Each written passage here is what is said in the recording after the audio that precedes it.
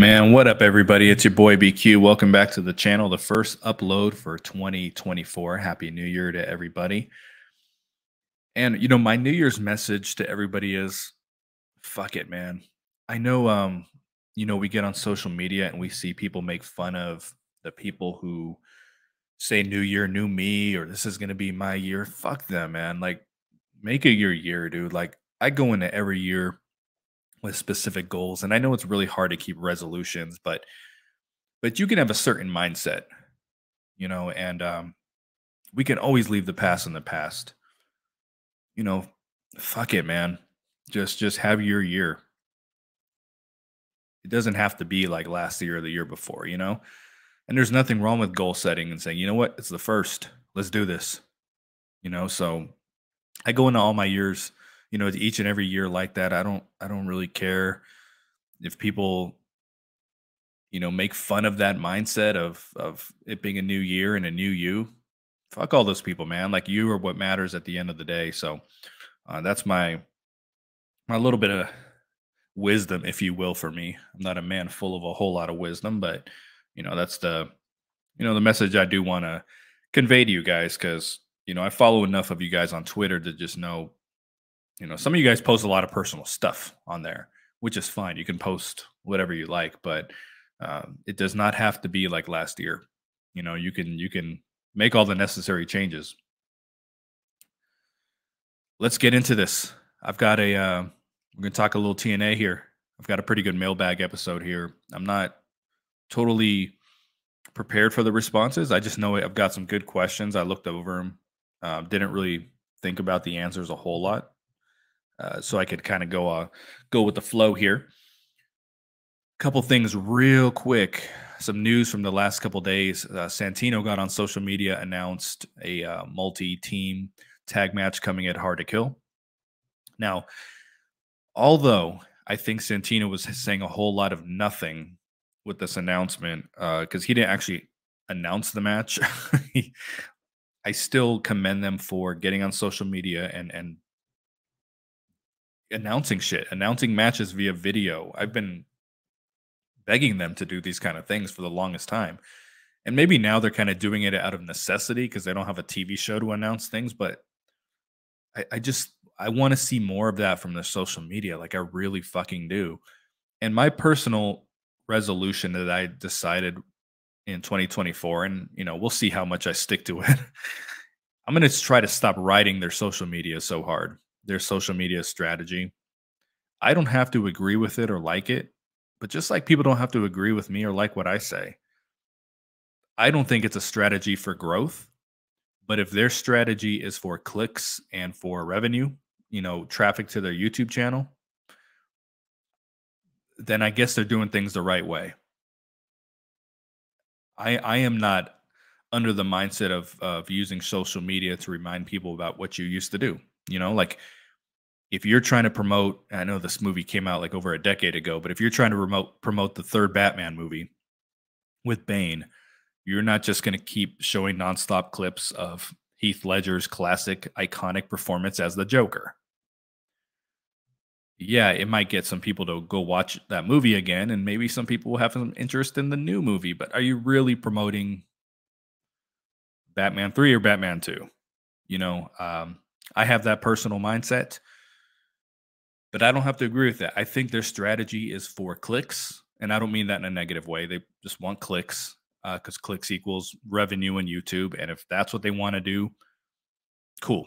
Uh, but I'm I'm tired of beating the horse, and I'm not. I'm gonna try not to beat that horse in in 2024. That's kind of my personal re- resolution. Uh, but yeah, I'm I want to see more of this from their social media. Even though I don't think the execution was like great, it, still the overall concept was is what I want, and I want to see them to try harder to do those kind of things. And then they uh, today, starting today, I think um, noon or one Eastern. Actually, it's we're getting pretty close to that time now. They're going to announce a uh, participant for the Knockouts Ultimate X new participant every day. And I and I again I've just been begging for that kind of shit for the longest time. And I would be okay with them posting all this you know, bullshit on their social media if there was just more of this, you know, that that that's all I'm asking for. You know, let us know, post the damn library, but do something to be forward thinking and moving forward as well. That's just really what I want to see. So, um, if I, you know, if I was, if I ran the company, which I don't, when I make these announcements, they would be video packages. You know, some of these girls were in the match last year, so I'd be showing clips from last year and then showing some favorable clips of them in the ring in general. And I would announce them that way. I would have small video packages, 30 seconds long, and put that on Twitter. I'm sure they're just going to put graphics out because I know this company, but I think that's what would take it to the next level. But again, um, that's just me saying what I would do. I think that um, what they're doing is doing it this way is great. This is, I just want more of this. I want more of this to create daily chatter, you know, and to put, put a singular focus on one knockout every single day, you know. So they're doing the right thing here. I hope that it's more of a mindset change and not, hey, we have to do this out of necessity. But um, I'm going to give them give them all the props in the world for that. Uh, before I get into this mailbag here, I do want to say that if in 2024 I cannot speak more favorably about this product than I do negatively, I think this is going to be my last year doing this because I I cannot for myself justify I cannot justify to myself to keep on going if I'm if I have too so many complaints about how they operate. You know, I've I've sucked it up the last 3 years and I've mentioned this a few times that about 2020 I'm gonna say it was like maybe end of 2021, beginning of 2022. I was done, and I had the tweet written out. I wrote the whole thing on my notepad on my phone, and was getting ready to tweet out that I was I couldn't do it anymore. Like the show was not making me happy. It was a chore. I was not enjoying it. And frankly, I was I was as a fan very offended when they said we do the best empty arena wrestling show when I saw all these other companies really making an attempt, and I don't even mean just wrestling, like outside of wrestling, other sporting events, making an attempt to being um, to doing to presenting empty arena sports in some kind of original fashion, or to do something that no one else was doing. And when I saw Impact come out and just give us exactly what those words you know, are empty arena wrestling. That's what they gave us. And then they just had the audacity to be like, we do this better than anybody else. You know, like that's where I was, I was really checking out. I said, this company is not self aware. Like, you know, so all these little issues that I had with the company, I said, they're not going to fix them. You know, so I was very, I was really unhappy watching the show for, for the pandemic, um, for a lot of 2021 you know, um, there were highlights. You know, like I still give their their empty arena hard to kill a lot of props. I enjoyed that show. Um, so I'm not saying everything they did was bad, but like overall, I just wasn't enjoying the show, wasn't enjoying the product, and it wasn't changing. It was just, you know, I think I, I at least as a fan want to see some evidence that they want to improve in certain areas, and I just didn't see it. And I was like, I was done. I was so close to being done, and there was something that happened. I don't even remember. I think it was a. It might have been the Bound for Glory pay per view or something, where the corner turned. They turned the corner a little bit, and I started getting invested in the product again, and you know decided, okay, I, I can keep going. But um, I, I struggled this past year with what they were doing, and I know that I've I, I know I annoy people to no end when I'm talking about we own the night every single podcast and and the red and um, the background music and the impact screensaver. You know, there's things I say every single week, and I know it annoys people. Um, but it was because it annoyed me that much that I almost just had to say it. I couldn't just not say it. But um, I'm optimistic they're going to change a lot of these things. But I'm, I'm telling you, folks, if um, if I find myself hating more of what they do than liking what they do, I cannot justify going on past this year. so so we'll see. I, I hope that they do not do that to me. I hope that I um because we're gonna we're gonna be riding a high after hard to kill for a couple weeks. We are. Um, but then they're gonna come down to earth, and that's when I'm hoping, okay, I'm still enjoying what they're doing. I still enjoy the vision. So um yeah, that's that. So let's get into these questions. I got some some really really good ones in the Impact Lounge engagement group on Facebook. So you can look that up if you want to get involved. Uh, that is not a group that I just want people to join just for the sake of it. You know, I really want some people to want to engage and, and talk in there. You know, like I know I say I'm not going to bash impact social media, but they're they're in the business of just collecting followers. They don't give a shit, right? Like if they're engaged or not. I I care more in that group. That's why it's the Impact Lounge engagement group. I do not want people in there who are just in there to be there. You know, um, I want people to to uh, because we, we got some great people in there, and I, I you know I just want people who want to want to engage and and talk about the product. We make fun of the product a lot, you know. Um, we're very it's very lighthearted, uh, but we also praise what's what's good, you know. Anyway, let's get into this. Um, who do you think is the big acquisition? Who do you think it should be, and who would bring more eyes to TNA? I'm still not letting the cat out of the bag as far as who I think the big acquisition is because I'm doing a um, a separate upload for it that I'm uh, preparing additional graphics for. So right now I'm not getting into that. But as far as the type of wrestler that I think it should be that's going to bring eyeballs, it has to be a guy or girl or plural who have some name value but also want to reinvent themselves and be a part of something. I'm going to use W. Morrissey as an example. I don't think he wanted to be a part of Impact long term, but he wanted to come in and change the narrative on himself. And he did an incredible job of that, and it organically got over. If he was someone that was dedicated to the future of the company and wanted to be there, he'd be a, a megastar for them right now. And I'll even go back to someone like EC3. I think EC3 brought eyeballs to the company. Obviously, they were not in their heyday of Spike TV TNA, but I think he brought eyeballs. He brought me back, to be honest.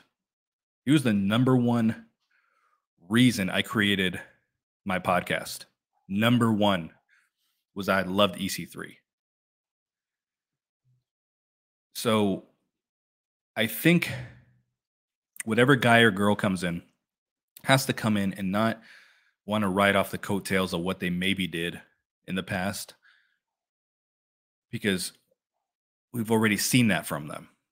But if they come in, truly reinvent themselves, because there's people in the WWE mid card who the fan base is always like, even the AW mid card, where they're saying, yo, we want to see them do something with this guy and then Impact gets them, and a lot of the time would um, try to recreate what they did before. And it, it, you know, like Heath was a great example. People wanted to see Heath do something, and then they got Heath, and they just made him the same Heath that he was before, instead of really allowing him to grow into something. So, um, someone who wants to reinvent themselves, but also be part of the t- future of TNA and not just be there for a booking that's the kind of person I think um, is going to bring eyeballs. You know, what's going to ultimately bring eyeballs is when you when you have something that no other company has. That's that's the simplest way I can put it. When you present something that no other company is presenting, it's people are going to watch it. Would you shine? Would that's that's hard to say. Would you sign Shawn Spears? A thousand percent yes. I love Shawn Spears. I loved him when he was Tye Dillinger in the tag team with I don't even remember his name. He was um Kurt Angle's fake son. I've been a fan of him ever since that that period of time. He's an example of something someone you can do something with if you really want to because he is he is uh he has some there's some remnants of what he used to do in WWE, but for the most part, like he has kind of reinvented himself, and um, he's one of the few that I would I would really elevate very quickly if I had him um, in my company, even though he was, you know, he did AEW, he did WWE. I think the world of him. I always have. And I think that is the exact type of guy that they should go for. So I would be uh, very excited to see him. Um, his AEW work was really good. Towards the end, he got kind of goofy, as everyone does on that show. But he's someone that um, I think he looks like a pro wrestler. He can walk and talk it. He can be a heel or baby face. He would be a baby face in TNA. But but he's someone I could, you know, I mean, he would be if he was a heel and had a long world title run, I think it would be fantastic. But I think he would come in as like a baby face, and uh, but I, I, just think he would be really, um, really big for the company. If it could mean we can get his wife back, I know she's pregnant right now, you know. But again, he has to be want you know want to be a part of um, of things going forward. In this new TNA era, can we expect to see live TV shows in 2024 as opposed to tape episodes? I'm going to say no. Uh, we haven't seen him under the Impact umbrella at all. You know, this was something Dixie Carter did every so often towards the end, but we never, I don't think we ever saw them under Anthem. Um, if if I were in charge, which I'm not, I would do them after every major pay per view, the four major ones, or at least the two major ones. Because what's one of the episodes of Raw every year that uh, the the ratings are through the roof and people are excited for. It's the it's the night after WrestleMania, right? The Raw after WrestleMania. And that has become so so ingrained in people's minds that it's going to be a huge show that they don't have to promote anything. And they don't have to overpromise anything. People just know in their head, hey, something's going to pop off, something big, someone big is going to show up, someone's going to return, someone's going to debut. Like they just know, right? if if TNA can create that kind of atmosphere to where the, you know the the the after Bound for Glory, after Slammiversary, really I would say after Hard to Kill 2 at least, maybe not Rebellion. But if we just knew, yo, you got to tune in because you it, it's going to be unexpected. You know, you can do unexpected title matches, unexpected debuts, start of huge angles. I would do it you know, I think it would be, I think I w- it would be worth it. I think they would be the highest rated shows of the year. Do I think they will? No, uh, not because they don't want to. I just don't expect them to. And I don't, you know, I, I don't think that there's much data to support that live programming on AXS TV is a hit. You know, so I, I don't know. I don't think they will. I'd be, I'd be shocked. Do you think TNA should stay away from smaller arenas this year? For example, Don Collive Arena and a Rebel Center. Uh, I thought the Rebel Center. I think everyone, most for the most part, everyone thinks the Rebel Center looks gorgeous on television. They could do every freaking show from there. I'd be, I'd be good. Um, I just see a, a um, notification here: eight, 883 tickets sold for Hard to Kill, 300 remain. That's I think that's what I, about what I was saying. I, I was like, I think they're going to sell in the 800 ballpark. As a as a resident of resident of Las Vegas, I, I can tell you if there is a show, any show, it can be fucking uh, Waterboy on Ice, like, and it's not sold out. They're going to have people out there with free tickets, getting people in there. So that's how I think hard to kill will ultimately sell out or i mean how, how it'll ultimately reach capacity is that you know vegas doesn't fuck around with their shows like they're going to get people in there. It's going to be much like the impact zone in orlando like hey let's just get them in here but i think i think we're going to see um, a lot of free tickets on the streets that day. Uh, but yeah the rebel center looks really good on tv i don't even have an issue with the don Collive. like i know that's like a really small arena. I I'm not of the the impact fan, the TNA fan base that says, "Oh, please run big arenas." I've I've never never been on that train. I would not run anything above 3,000 people. I mean, look at the capacity for Hard to Kill in a great location. And they're struggling to fill it, right? Bound for Glory last year, they announced a year in advance and it took almost that entire year to sell out. So to me, there's no data to suggest they could fill out fill up anything above a 2,000 seat arena. Uh, maybe 2,500, and then if you want to get ballsy, 3,000. But I, I would rather the show look great on television than um, than try to shoot for the stars because then you start getting the fo- the photos floating around like AEW has where the you know they're showing no one in the crowd. You know, so I'm I'm okay with the smaller spots. I just want it to look good on television. That's my my thing. When it looks like shit, that's when I get mad. Um, but if you know the Impact Zone in Orlando looked looked amazing on TV, and there were you know there was never more than 300 people in there and they made it work, you know. And I I brought up the example before of when I was I was there when Eddie Eddie Edwards won the world title from Bobby Lashley. There was maybe 200 people in there. I'm telling you, there was nobody there that night. This was the night after Bound for Glory, and this is why I've I've said, you know, create an atmosphere where you know something huge is going to pop off the next night. Um, and they made it look okay on TV. I was scared to death when when the episode was going to come out that it was going to show no one there, and they they made it work. But I mean, I am telling you, it was dead in there. So I, I I'm okay with like 500 seat fucking places. You know what I'm saying? I, I don't care. I just want it to look good on television. Obviously, I want them to sell tickets because that's more more revenue at the end of the day. But you know, it's not that big of a deal to me. How long should fans give TNA to have a different feel? How many episodes to improve? That's a really good question. Um, in the summer, D'Lo Brown came out and said, "Give us three episodes." So you know what? Give them three episodes. I rebutted by saying, "You should be telling people give you one episode." Because as um as viewers of television, like you know, let's say there's a new sitcom that comes out. You know, you watch the first episode and you're like, "This isn't very funny." Like, are you really going to watch the second episode? Like the you have one chance to grab people.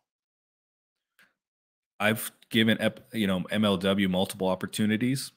Don't really like the show, but there's no way I'm watching three episodes. you know, it's just not happening. As um, you know, as consumers of, of media and television, like just people don't. That doesn't work. You have to grab people in one. So I will say if you're watching, if you're someone that's watching TNA for the first time in a very long time, give them one episode. But for us who are pretty much watching no matter what, but you're kind of deciding, ah, I don't know if I'm going to punch out or not, G- give them the three episodes. I'll say give them the full set of tapings after Snake Eyes. Because as I said earlier, we're going to be high after Hard to Kill. The company's going to be high. The wrestlers, the fans, eh, we're going to be on a high. And that's probably going to carry into Snake Eyes a little bit. But whatever the location is, they're filming tele- television after that. I don't, maybe they've announced it. I, I've, you know, I've always said I never really care where they film. I know a lot of people follow that stuff. I don't know if there's, they're already, I think they're doing Orlando. But I will say give it, which is actually really smart if that's their first location I would say give it that set of tapings, and we're gonna know right there if they're, can you know, if they're happy being where they are, or if they're trying to do something special. We're gonna know. So Snake Eyes, we're gonna be on a high, but that first set of tapings, that is gonna let us know what to expect for the new new vision of TNA. I'm very confident in saying that. I don't think it's going to be something that you know, there's going to be peaks and valleys. There always is, but I don't think it's going to be something that progressively through the year improves. And you know, if they hit us with the just give us a chance, eh, eh, do do not give us that bullshit. Like you've had a year to prepare for this, go balls to the wall. So that's what I'm expecting them to do, and whatever that block of tapings shows me is going to be, it's going to dictate what I think TNA is going to be. Do you think the stink of LOL TNA will ever go away? you know, maybe not totally, because um, I mean, God, people, there's not a tweet that Vince Russo can can put out that someone doesn't bring up David Arquette or or a Viagra on a pole. Just look at his tweets. There's nothing he can say where someone doesn't bring that up. Um, so I don't think 100% no, but there is so much bad press on AEW right now, folks. And they have done everything in their power to change the narrative to where they are no longer the alternative. They are a knockoff version of WWE. They, they have become exactly what people hated from TNA back in the day. And, you know, what people disliked about WCW and, you know, and this is the perfect opportunity to step in, establish himself as the alternative, establish himself as something different, something serious, something less goofy. And um, they have a they have a real shot here. Six months from now, will I say that? No. This the top of the year here, January, February, March. This is it. This is their their window to strike. The iron cannot be any hotter. I know it's a little cool right now, but I'm I fully believe Hard to Kill, Snake Eyes, like they're going to be the talk of the wrestling world. So that is their opportunity to strike, and that is going to be their opportunity to gain these new fans and to change the narrative. Then after that, whatever the result is, they're going to have to live with. But um, do I 100% think it'll go away? No, but AEW has so much negative press on them right now that you cannot possibly. I mean, it's the best thing that could happen to TNA, to be frank. How long before they rebrand as Impact again? Uh, 45 days. Do you think TNA should rebrand with a different logo and colors, or are you okay with the old school logo and colors? No, I'm okay with it. I'm okay with what they got with this the, the old school one because you want to have a little nostalgia. Like I want them to move forward and be forward thinking, but you, you want to have a little bit of that as well. Yellow is my favorite color, so I'm you're not going to see me complain about yellow on TV. I think uh, yellow with red would pop very very well, and um, I'm good with that. You know, I have no I have nothing against red. Like my favorite baseball team, the Angels, they're red. Their college football team, USC, they're red. It's more of a crimson, but they're red. Um, favorite basketball team, LA Clippers. They are they've gotten away from it a little bit, but for the majority of their time, they were red. You know, the uh, my favorite WNBA team, the uh, Indiana Fever, their um, Rebel jerseys right now are red. They are as red as red can be. Okay, I have no issues with the fucking color. It's when that's your only color. That's when I get. It's I, I mean, I've seen in freaking social media marketing books like, do not make everything red. you know what I'm saying? So you have to have some kind of contrasting color to pop. And I think yellow is a great one. And I think a yellow is a color they should take advantage of because NXT got away from it. You know, maybe not gold. They were the black and gold brand. Um, but I think that color is kind of up for grabs right now. So I would I would incorporate a lot more yellow into what you're doing. Um, but they're both colors that you can't you can't overdo. You can't overdo bright colors. Can the product benefit with more lucha libre? I'm going to say probably not, but I don't mind lucha libre in the um, the context of lucha libre. Like if I'm watching a AAA show, like that's fine, but I don't know that lucha libre has ever really clicked in the United States. You know, I worked with Rey Mysterio, who worked on a much lower level with Penta and Fenix. But other than that, there's ne- never really been huge stars. And AEW brings in mass men every week, and it doesn't, you know, there's some people who like that kind of stuff, but it doesn't really work. Um, I guess it does for them because they love to see people flip and roll. But it, it it's hard to say. Um, you know, if if they became a staple in the X division, if there was a couple luchadors in there, it could work. Um, AAA is probably the company that gets the the least amount of rub from Impact. Like you bring in someone from New Japan, or um, even even Noah at one point, but you bring in someone from New Japan, AEW, like they're going to beat their guys. You know, you bring in someone from the Indies, that's a big name. They're going to beat their guys. They're going to beat their own guys with a drum, like a drum. But trip, you know, the the luchadors are the one that, you know, I think they said a final resolution that was Samuray Del Sol's first win in Impact. That's crazy. You know, and he was in WWE. Uh, I think if they kept him around, I think that would be very beneficial for the division because uh, he can speak English. But I think I think you could pepper the X division with a little bit of of lucha libre, but I just don't think it clicks with American wrestling the way that ideally it should. If you were to replace BTI with another hourly show, how would you format it? What would you want it to accomplish?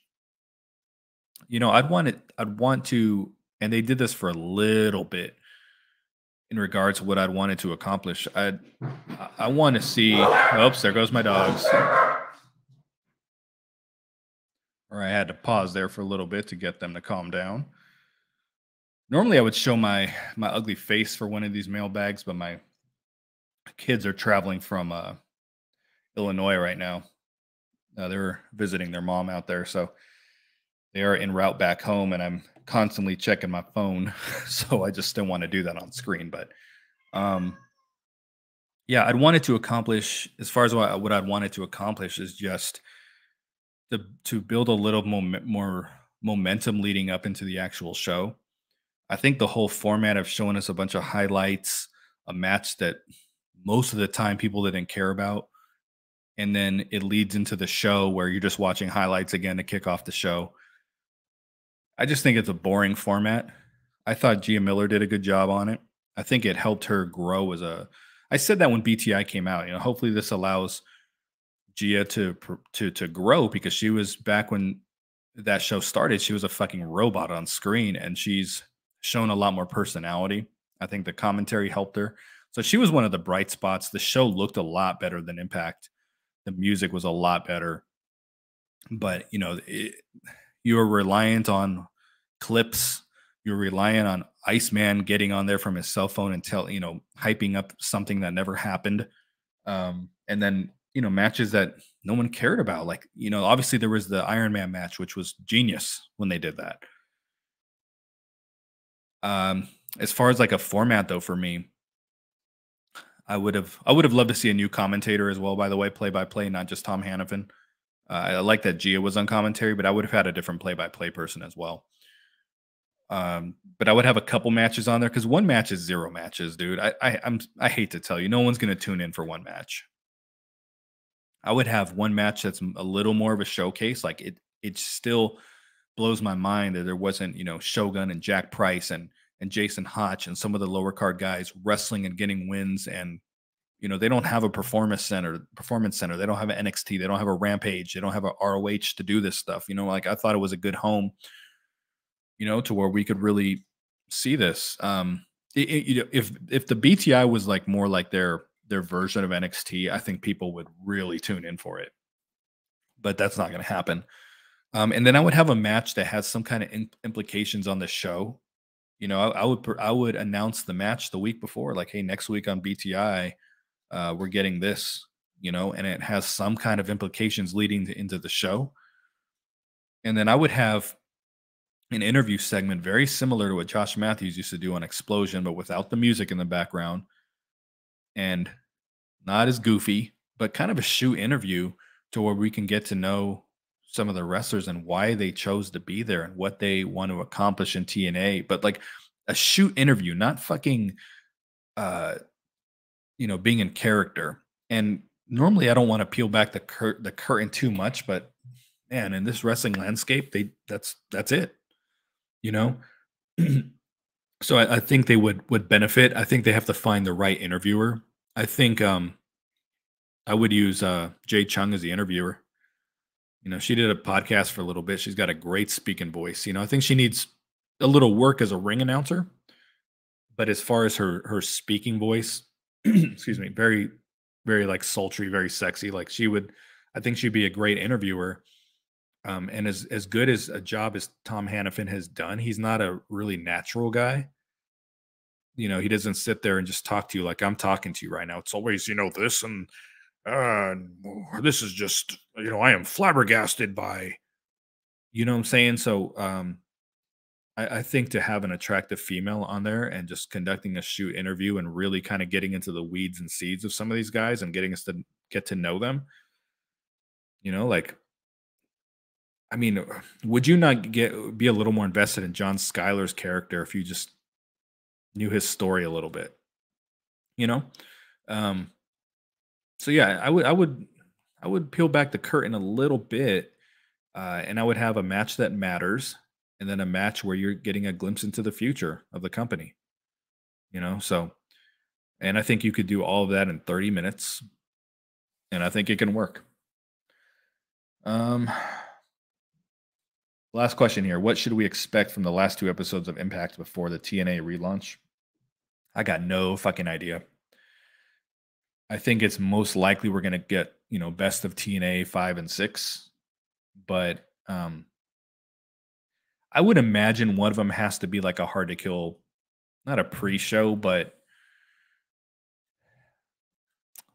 I guess a pre-show, but without the matches. Like the, I, there has to be, has to be.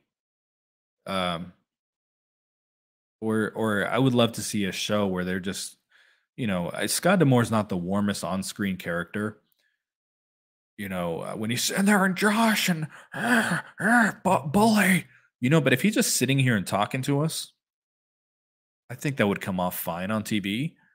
And, you know, he sits there and because one thing they have failed to do, and this is one thing I give Billy Corgan all the props in the world, they have they have really failed to communicate to us the vision of this new TNA.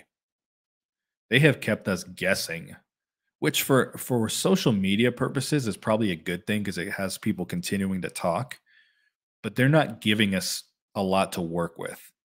And people are having to create their own conversations. You know, eh, so I think having Scott D'Amore at a sit down episode and maybe even some of the wrestlers too, without, you know, AJ Styles was here in this, like, no, just sit down and say, this is what you can expect going forward. But be like really real and raw about it. And, you know, and say, hey, we're, we're going to bring back shows that you you've been asking for, pay per views you've been asking for. Like hint that lockdown and knockouts, knockdown, and the um, I never remember what the X Division one was called because it wasn't as popular, but you know, Joker's Wild, which I thought was a great concept. I think Joker's Wild would would would be great for um for you know these random if they're going to do all these random episodes like do something random do Joker's Wild you know, to where random works in your favor. But if you, you know, if you just get on there and kind of hint towards what we can expect and and you know, you don't have to tell us, but hint towards something. Give us something to work with because they really haven't. You know? Um, that's that's what I would love to see. I think it'll be the biggest fart in a bucket if they get on there and their their episodes of best of TNA 9 and 10. I think I think it'll be a, a a, a huge whiff. I think it would be the dumbest fucking thing they can do. But if it's any kind of original programming, even if it's Scott D'Amore sitting in a chair talking about hard to kill, you know, like like Tony Khan, is annoying as he is, he does a, a podcast with the AEW Unrestricted guys eh, before every pay per view, kind of previewing the show.